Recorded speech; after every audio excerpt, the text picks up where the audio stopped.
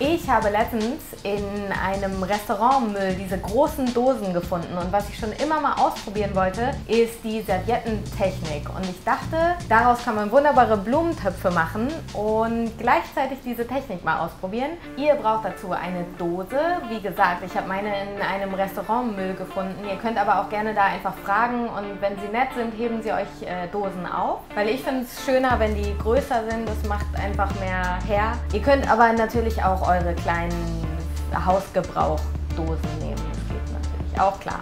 Dann braucht ihr die Servietten, die ihr mögt, die euch gefallen.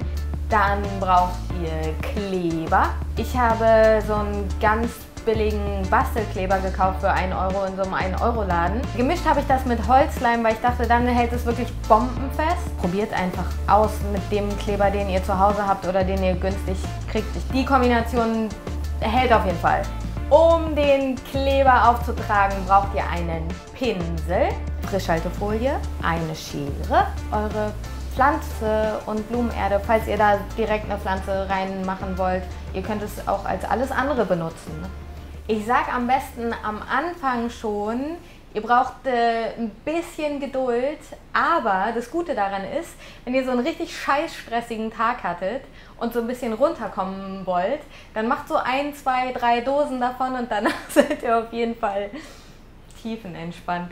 Ihr fangt damit an, dass ihr die Teile, die ihr auf die Dose bringen wollt, ausreißt aus der Serviette. Je größer das einzelne Teil ist, desto schwieriger ist es, das glatt auf die Dose zu bringen. Wenn ihr damit durch seid, dann fummelt ihr jetzt das ganz äußerste von der Serviette ab, dass ihr so ein ganz hauchdünnes, nur die oberste Schicht, wo euer Motiv drauf ist, das nur noch habt.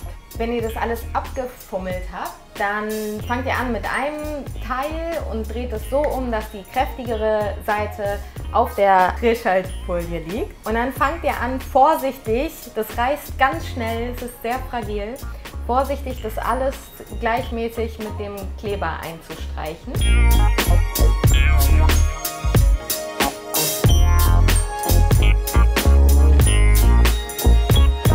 Und dann schneidet ihr einfach äh, drumrum, so dass ihr das gut platzieren könnt auf der Dose.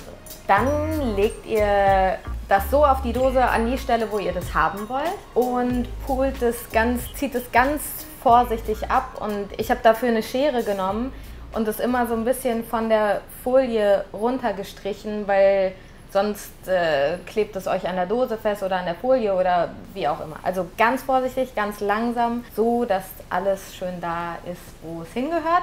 Ich habe so gemacht, dass ich größere Teile genommen habe, um die Dose einmal zu umrunden. Um, ich habe größere Teile genommen, um die Dose sozusagen einmal zu umrunden. Und dann habe ich kleinere Teile nochmal ausgerissen und die dahin gemacht, wo noch mir zu viele Lücken waren, wo man noch zu viel Dose gesehen hat. Ihr könnt alles vollpappen ne?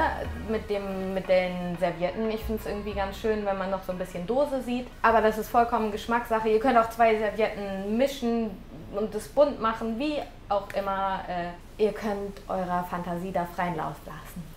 Ich habe so eine kleine Sukkulente zu Hause gehabt, die so aussah, als würde die ganz schnell ganz groß werden und deswegen wollte ich da jetzt ein bisschen mehr Platz geben. Bei den Blumen müsst ihr natürlich darauf achten, dass ihr das entweder als Übertopf nur benutzt, das heißt, dass ihr einen Topf reinstellt und dass da unten noch Platz ist für das überschüssige Wasser.